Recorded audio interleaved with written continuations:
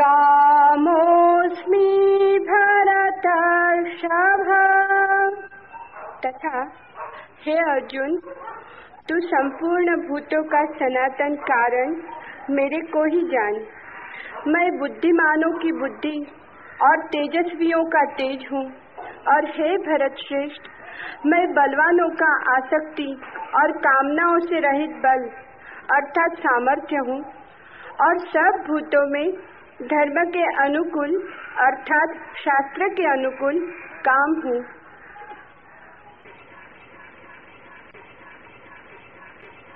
परमात्मा स्वयं अपना परिचय देना चाहे तो निश्चित ही बड़ी कठिन बात है। आदमी भी अपना परिचय देना चाहे तो कठिन हो जाती है बात। और परमात्मा अपना देना चाहे तो और भी कठिन हो जाती है। एक तो इसलिए कठिन हो जाती है कि परमात्मा भी अपना स्वयं परिचय दे तो सदा ही अधूरा होगा, पूरा नहीं हो सकता। अस्तित्व इतना विराट है और शब्द इतने छोटे पड़ जाते। परमात्मा भी कहना चाहे तो कह के पाएगा कि जो कहना था वो नहीं कहा जा सका है। कहना चाहा था, वो छूट गया है। और जो कहा गया है, वो बहुत दूर की खबर लाता है। कृष्ण को भी वैसी ही कठिनाई है। और जब भी किसी व्यक्ति के भीतर से परमात्मा ने स्वयं को अभिव्यक्त किया है, तब सदा ही ऐसी ही कठिनाई हुई है। कृष्ण की पीड़ा हम समझ सकते हैं। वे जो उदाहरण ले रहे हैं, वे जिन बातों के सहारे समझाने चल रहे हैं, वे बातें बहुत साधारण हैं। लेकिन इसके अतिरिक्त कोई उपाय नहीं, कोई विकल्प नहीं।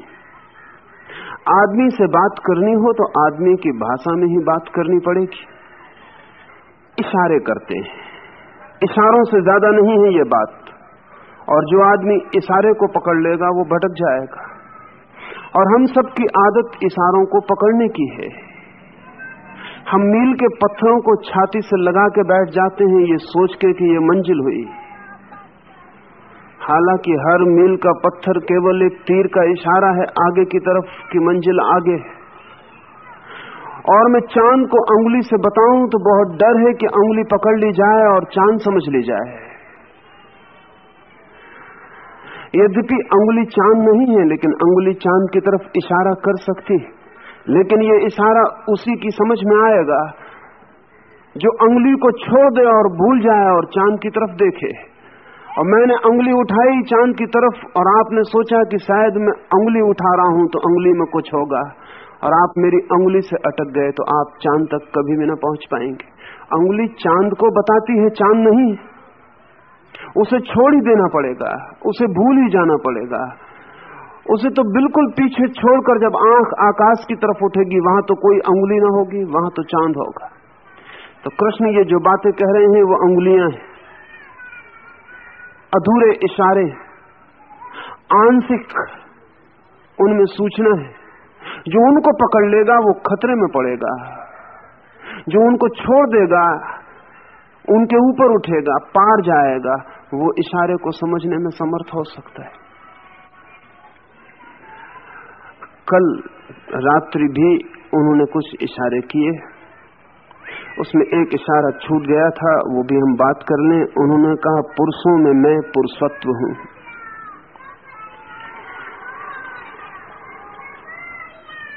पुरुषों में पुरुषत्व पुरुष नहीं।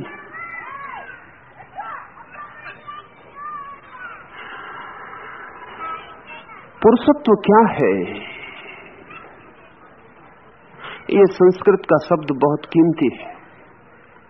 और इस शब्द के थोड़े से परतों को उघाड़ना ज़रूरी है। हम सभी जानते हैं कि पुर कहते हैं नगर को, बस्ती को।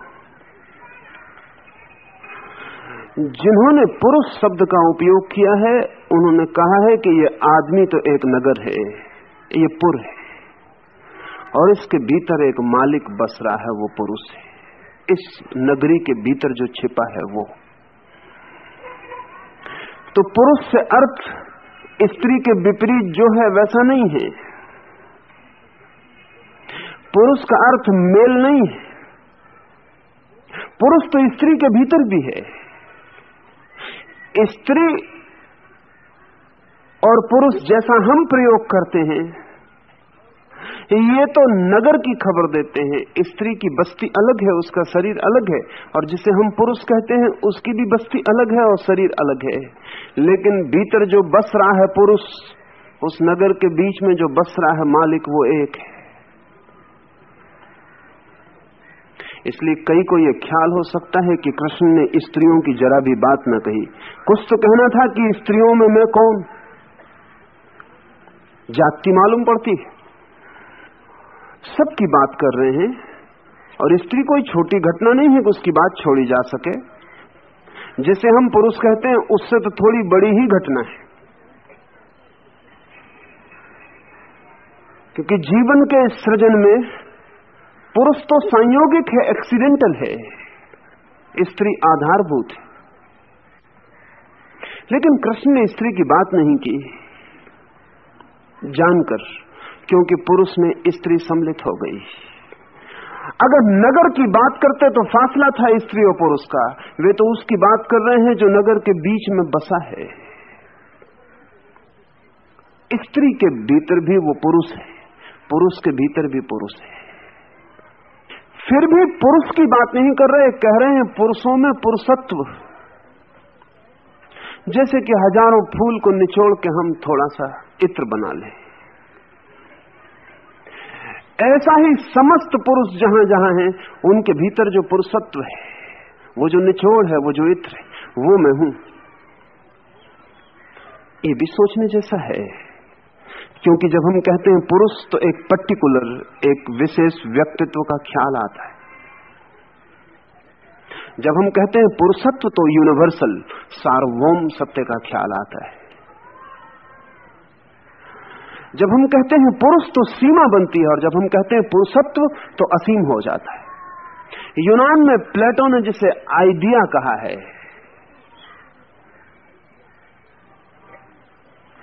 प्रत्यय कहा है? पुरुषत्व एक प्रत्यय है, एक आइडिया है। जब हम कहते हैं प्रेमी तो एक सीमा बन जाती है। लेकिन जब हम कहते हैं प्रेम तो सब सीमाएँ टूट जाती हैं। तब असीम हो जाता है सब। जब हम कहते हैं पुरुष तो एक रेखा खिंच जाती है चारों ओर। जब हम कहते हैं पुरुषत्व तो विराट आकाश की तरह सब विस्तीर्ण हो जाता है। पुरुषत्व की कोई सीमा नहीं। पुरुष आएँगे और जाएँगे, पुरुष बनेंगे और मिटेंगे, पुरुषत्व तो शाश्वत है।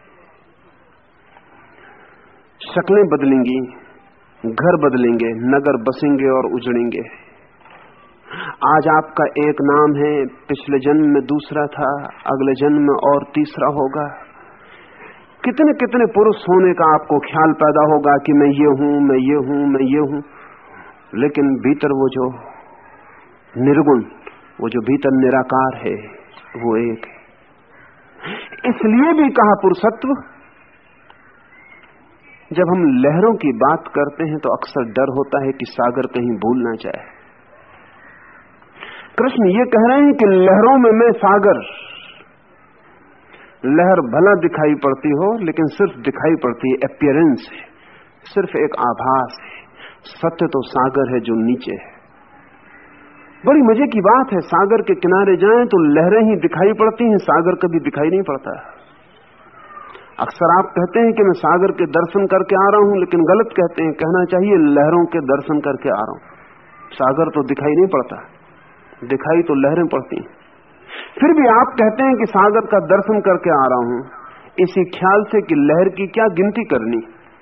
लहर तो आप देख भी नहीं पाए और मिट गई होगी और दूसरी बन गई। जो मिट गई लहर उसमें भी जो था और जो बन गई लहर उसमें भी जो है। हालाँकि वो आपको दिखाई नहीं पड़ा है, लेकिन आप खबर यही देते हैं कि मैं सागर के दर्शन करके आ रहा हूँ। तो कृष्ण लहरों की बात नहीं कर रहे, वो सागर की बात कर रहे हैं, वो पुरुषों की बात नहीं कर रहे, पुरुषत्व की बात कर रहे हैं, जिसके ऊपर सारा खेल निर्मित होता है। एक रूप, दूसरा रूप, हज़ार रूप, वो पुरुषत्व लेता चला जाता है। और फिर भी अरूप है। न मालूम कितने आकार बनते हैं और विसर्जित होते हैं, फिर भी वो निराकार है। तो पुरुषों में मैं पुरुषत्व हूँ।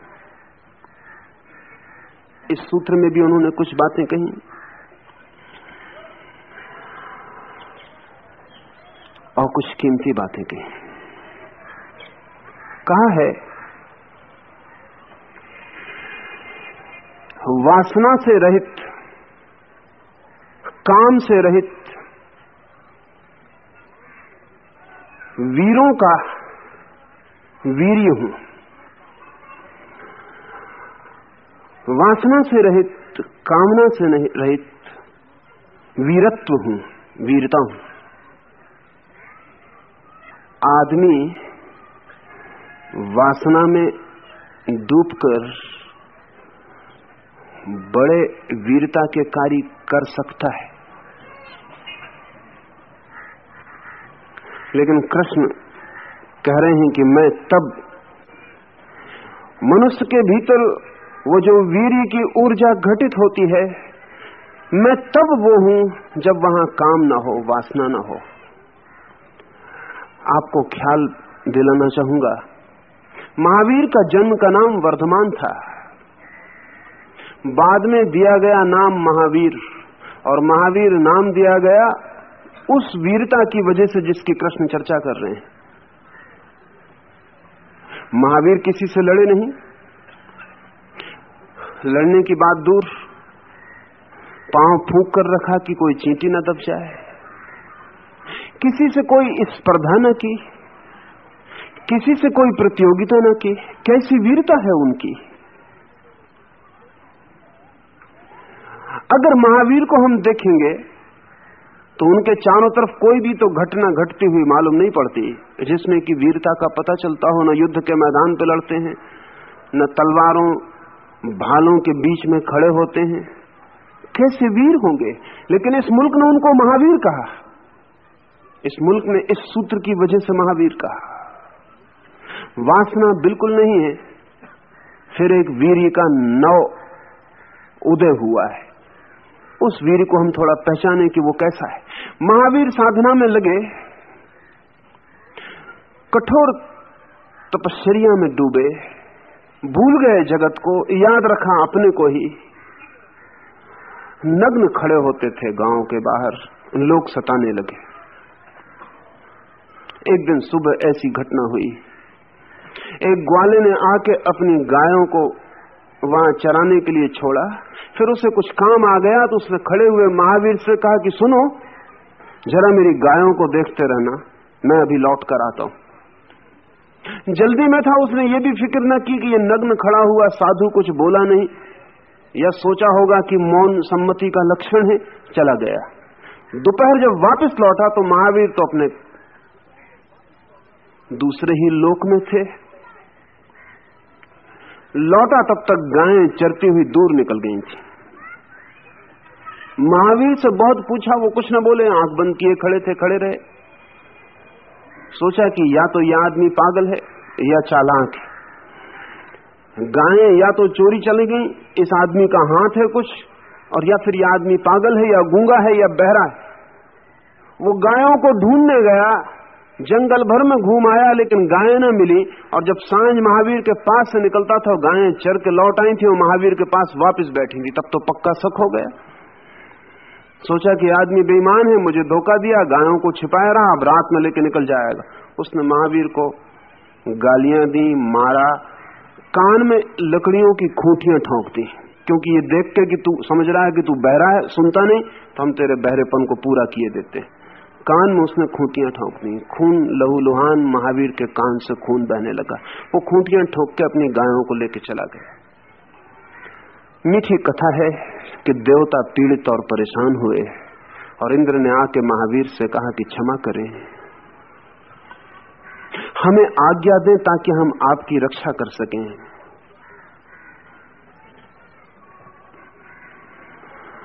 ऐसा दोबारा न हो। अन्यथा बदनामी हमारी होगी कि भले लोग ज़मीन पर थे और महावीर के कान में खूंटियाँ ठोक दी गई। हमें आज्ञा दें, महावीर ने आँख खोली और कहा वो ग्वाला भी अपने ढंग से मुझे विचलित करने आया था, तुम अपने ढंग से मुझे विचलित करने आए हो। मुझे छोड़ दो मुझ पर। जो भी होना है मुझे अकेले पर होने दो। जन्मों जन्मों बहुत तरह के साथ मैंने लिए, सब साथ व्यर्थ गए, अब मैं अकेला हूँ। जन्मों जन्मों न मालूम कितने कंधों पर हाथ रखे और सोचा कि वो साथी बनेंगे। कोई साथी कभी बना नहीं। अब मैं अकेला हूँ। अब ये वीर,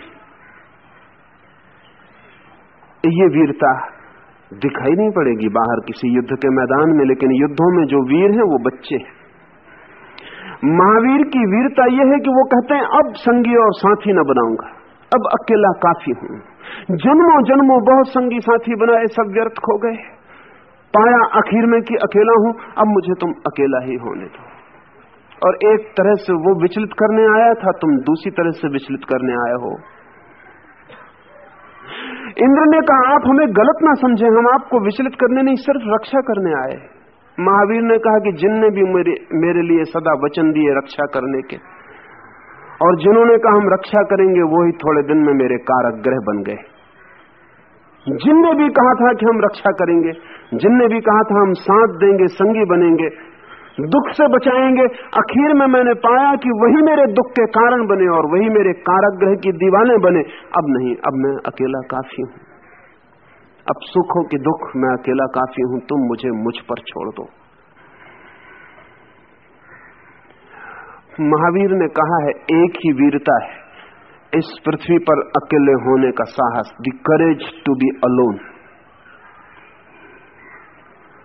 बहादुर से बहादुर आदमी भी अकेला नहीं हो सकता। कम से कम तलवार तो साथ में रखता ही। इसलिए जिसके हाथ में तलवार देखें, समझ लेना कि भीतर कायर छिपा है। नहीं तो तलवार किसके लिए? महावीर नग्न खड़े हाथ में एक लकड़ी का टुकड़ा भी नहीं।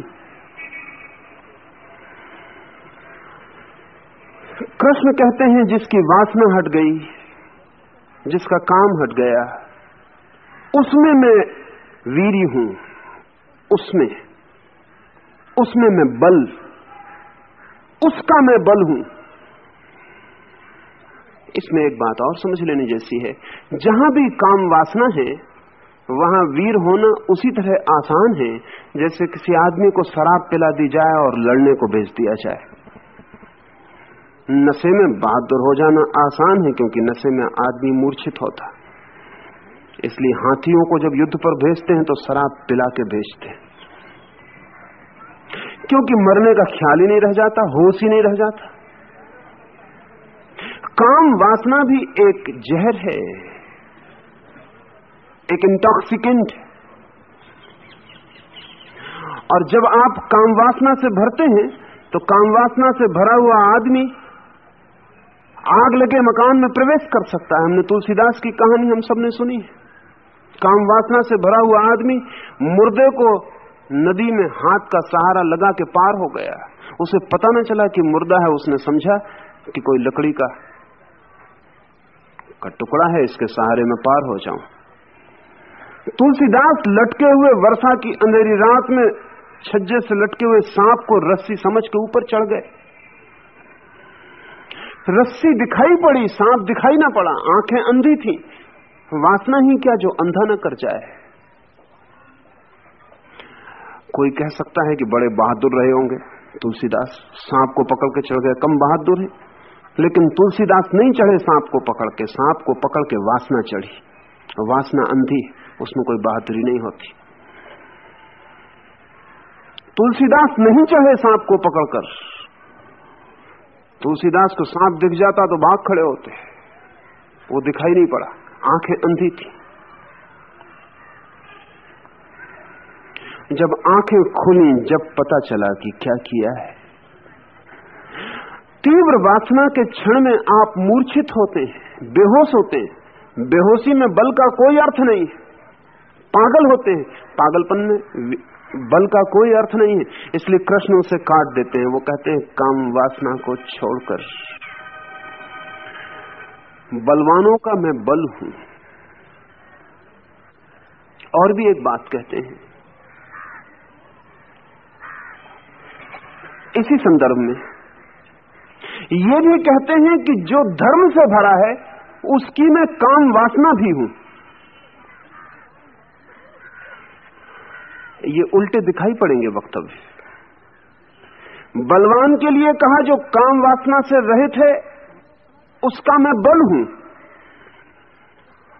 लेकिन तब सवाल उठ सकता है कि फिर ये काम वासना का क्या होगा? तो कृष्ण कहते हैं, काम वासना भी हूँ, उसकी जो धर्म से भरा है। इसका क्या अर्थ होगा? धर्म से भरी काम वासना का क्या अर्थ होगा? जैसे ही व्यक्ति के जीवन में धर्म उतरता है, वैसे ही काम वासना वासना नहीं रह जाती। वैसे ही काम सेक्स यौन यौन नहीं रह जाता। इसे थोड़ा समझना ज़रूरी है। कुछ ऐसा है कि जिस व्यक्ति के जीवन में धर्म का अवतरण हुआ, उस व्यक्ति के जीवन का सभी कुछ धार्मिक हो जाता है। धर्म इतना डुबाने वाला है कि सिर्फ़ आपकी बुद्धि को ही डुबाएगा ऐसा नहीं, सिर्फ़ आपके हृदय को ही डुबाएगा ऐसा नहीं, आपके शरीर को भी डुबा लेगा। धर्म इतनी बड़ी घटना है घटे तो आप पूरे के पूरे उसमें डूब जाएँगे। आपकी काम वासना कहाँ बचेगी? वो भी उसमें डूब जाएगी। कहना चाहिए कि धर्म का अमृत ऐसा है कि अगर जहर की बूंद भी उसमें पड़ जाए तो अमृत हो जाएगी। हमें समझना बहुत कठिन होगा। हमारी सामान्य समझ तो ये कहती है कि वो सारा का सारा अमृत जहर हो जाएगा, अगर एक बूंद जहर की पड़ गई। क्योंकि जहर से ही हम परिचित हैं, अमृत से हम परिचित नहीं हमने जहर ही जाना है, हमने अमृत जाना नहीं है। सच बात तो यह है कि अमृत की कसौटी और परीक्षा ही यही है कि वो जहर को अमृत बना पाए। अन्यथा उसकी कोई कसौटी नहीं, कोई परीक्षा नहीं। धर्म की कसौटी ही यही है कि आपके भीतर जो जहर है, वो अमृत हो जाए। आपके भीतर जो यौन है, जो वासना है, कामना है, वो भी राम अर्पित हो जाए। वो भी प्रभु समर्पित हो जाए। वो ऊर्जा भी ब्रह्म की ऊर्जा बन जाए। क्या होता होगा? जब कोई व्यक्ति धर्म से भरता होगा तो उसकी काम वासना की गति क्या होती होगी? उसकी काम वासना की गति आमूल बदल जाती है। अभी आप काम वासना से भरते हैं। अचेत होकर, मूर्छित होकर, विक्षिप्त होकर, निर्णय करते हैं हज़ार बार की काम वासना से बचूँगा बचूँगा बचूँगा, और आप निर्णय करते रहते हैं और भीतर वासना संग्रहित होती चली जाती है, और एक क्षण आता है कि आपके निर्णय का पत्थर उठा के फेंक दिया जाता है और वासना का झरना फूट पड़ता है। फिर कल से आप पछताएँगे और फिर पछता के यही करेंगे कि फिर वासना को दबा के इकट्ठा करेंगे और फिर वो वक्त आएगा कि आपका संकल्प तोड़ के वासना पुनः बह उठेगी। अभी वासना का हम पर हमला होता है। वी आर द विक्टिम्स अगर इसे ठीक से समझें तो हम वासना के मालिक नहीं है, शिकार है। वासना हमें पकड़ लेती है भूत प्रेत की भांति और हमसे कुछ करा डालती है। जो कि शायद हमने अपने होश में कभी ना किया होता। और जब हम होश में आते हैं तो पछताते हैं, दुखी और पीड़ित होते हैं कि हमने ऐसा सोचा, ऐसा किया। लेकिन फिर वही होता है। हम वासना के हाथ में धागे बंधी हुई गुड्डियों की तरह हैं जो नाचते हैं। प्रकृति हमसे काम लेती है। हम प्रकृति के गुलाम प्रकृति आज्ञा देती है और हम काम में लग जाते हैं। धर्म से भरे हुए व्यक्ति को प्रकृति आज्ञा देना बंद कर देती है। असल में जो व्यक्ति धर्म को उपलब्ध होता है, प्रकृति की आज्ञा सीमा के बाहर हो जाता है। प्रकृति उसे कोई भी आज्ञा नहीं दे सकती। और एक नई घटना घटती, एक धर्म को उपलब्ध व्यक्ति प्रकृति को आज्ञा देने लगता है। एक आमूल रूपांतरण होता है। जब तक हम अधर्म में जीते हैं, तब तक प्रकृति हमें आज्ञा देती है, हम गुलामों की तरह होते हैं। हम चलाए जाते हैं, चलते नहीं। हम खींचे जाते हैं, चलते नहीं। हम धकाए जाते हैं, हम चलते नहीं। हमारी ज़िंदगी, हमारी वृत्तियों का ज़बरदस्ती दबाव है। न तो आपने कभी क्रोध किया है, क्रोध करवाया गया है। न आपने कभी काम वासना की है, काम वासना करवाई गई है। आप सिर्फ़ एक विक्टिम है, एक शिकार है, जो चारों तरफ़ से आपको धक्के दिए जा रहे हैं। जैसे हवा में पत्ता कपता है, बाएँ हवा बहती तो बाएँ और दाएँ बहती है तो दाएँ। वो पत्ता भी शायद मन में सोचता होगा कि अब बाएँ बहुत थक गया, अब जरा दाएँ बहू। जब हवा दाएँ चलने लगती है, तब वो सोचता है, अब दाएँ चलू। वैसे ही आप सोचते हैं कि मैं क्रोध कर रहा हूँ, कि मैं वासना से भर रहा हूँ, नहीं। आप सिर्फ़ भरे जाते आप बिल्कुल हेल्पलेस विक्टिम असहाय शिकार हैं। धर्म से भरा हुआ व्यक्ति प्रकृति के ऊपर उठता है। वो प्रकृति को आज्ञा देना शुरू करता है। वैसे व्यक्ति के जीवन में काम वासना वासना नहीं रह जाती। हाँ वैसे व्यक्ति के जीवन में यदि काम की कोई घटना भी घटे जैसा कि कुछ घटनाएँ घटी तो उनके कारण बहुत ही दूसरे होते हैं। जैसा जीसस के बाबत कहा जाता है कि वो कुंवारी मरियम से पैदा हुए। ये उदाहरण मैं दे रहा हूँ ताकि आपकी समझ में आ सके कृष्ण की बात। जीसस के बाबत कहा जाता है, कुंवारी मरियम से वर्जिन मैरी से पैदा हुए। अब कुंवारी लड़की से कोई कैसे पैदा होगा? लेकिन हो सकता है।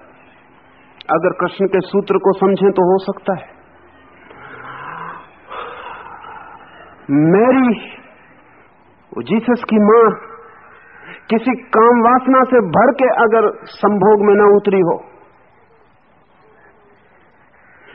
वरन, जीसस की आत्मा को जन्म देने के लिए ही अपने शरीर की प्रकृति को उसने आज्ञा दी हो तो वो कुंवारी है। और आपसे मैं कहूँ कि आप जब किसी बच्चे को जन्म देते हैं तब भी आपको पता नहीं होता कि उस बच्चे की आत्मा आपके चारों तरफ़ मंडरा रही है और आपको प्रेरित कर रही है कि आप उसे जन्म दें। लेकिन आप बेहोश उसके लिए प्रकृति आपको धक्के दिलाती है और बच्चे का जन्म करवाती है। लेकिन काम वासना जिस दिन धर्म से रूपांतरित होती है उस दिन आप सचेत रूप से एक आत्मा से बात कर पाते हैं जो आपके द्वारा जन्म लेना चाहती है। और अगर आप जन्म देना चाहते हैं तो आप अपने शरीर को आज्ञा देते हैं कि वो वासना में उतरे, वो काम कृत्य में उतरे, लेकिन ये आज्ञा होती है। और इसलिए इसमें बुनियादी फ़र्क है, जब आप काम वासना में उतरते हैं तो आप बेहोश होते हैं। और जब ऐसा व्यक्ति कभी काम वासना में उतरता है तो बिल्कुल होश में होता है। वो अपने शरीर का उपयोग एक उपकरण, एक यंत्र की भांति कर रहा होता है। मालिक होता है। शरीर उसका उपयोग नहीं कर रहा होता तो कृष्ण कहते हैं, मैं काम वासना भी हूँ, लेकिन उनकी जो धर्म से भरे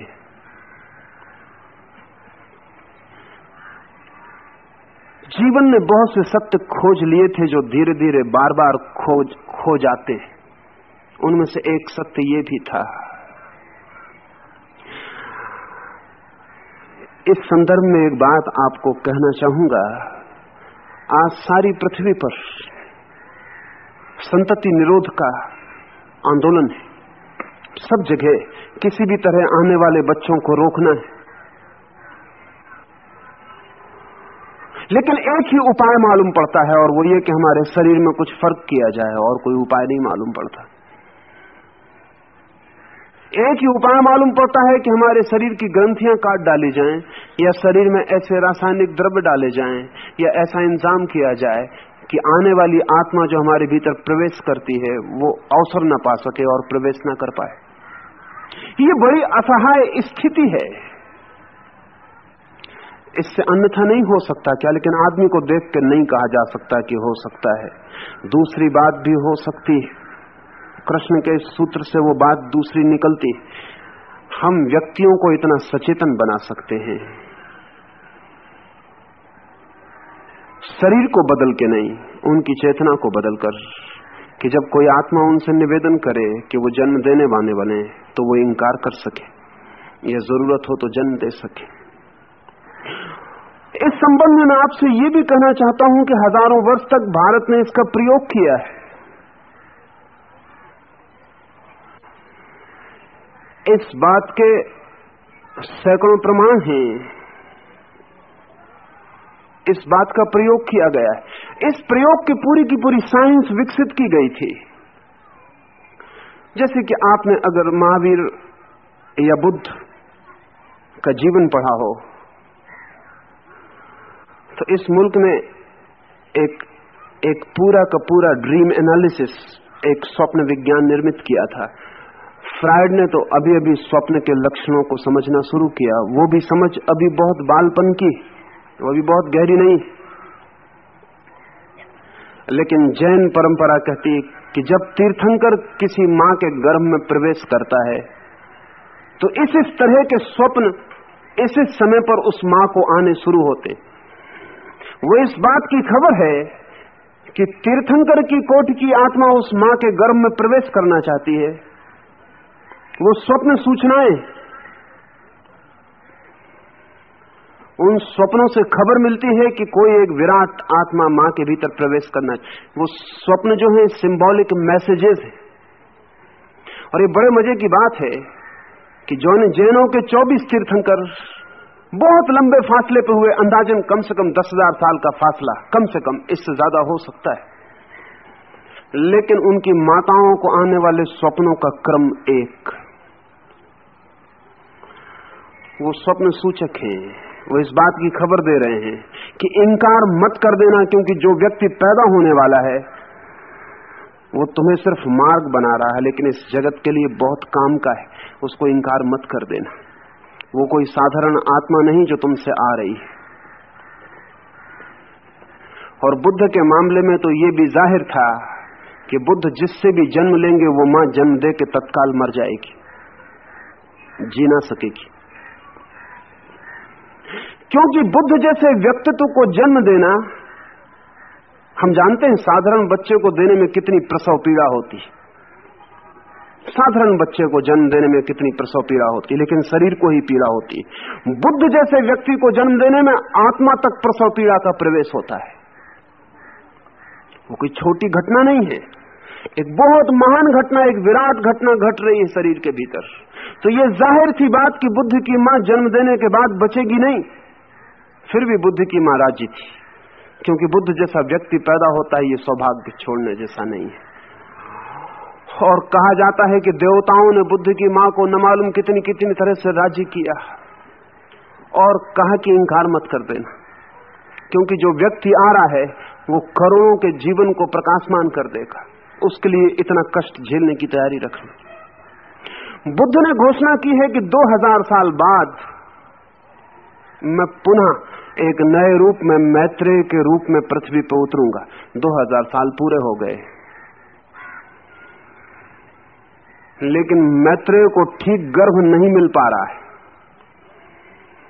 इसलिए एक अड़चन खड़ी हो गई है। इसलिए जो लोग जीवन की गहराइयों से संबंधित हैं, उनकी इस वक्त सबसे बड़ी बेचैनी यही है कि कोई माँ मैत्रेय को ग्रहण करने के लिए तैयार हो जाए, लेकिन कोई माँ पृथ्वी पर दिखाई नहीं पड़ती है। बुद्ध का वचन खाली ना जाए। इसलिए और तरह के प्रयोग भी किए गए, वो भी असफल हो गए। कोई गर्भ देने वाली माँ नहीं मिलती है। तो कोशिश ये की गई कि किसी व्यक्ति के शरीर में, जीवित व्यक्ति के शरीर में ही बुद्ध की आत्मा को प्रवेश करा दिया जाए। और एक ही शरीर से दोनों आत्माएँ काम कर लें, ये आत्मा जो मौजूद है, सिकुड़ जाए और उस आत्मा को जगह दे दे। वो प्रयोग भी सफल नहीं हो सके। कृष्ण मूर्ति के साथ भी वही प्रयोग किया गया था, वो सफल नहीं हो सका।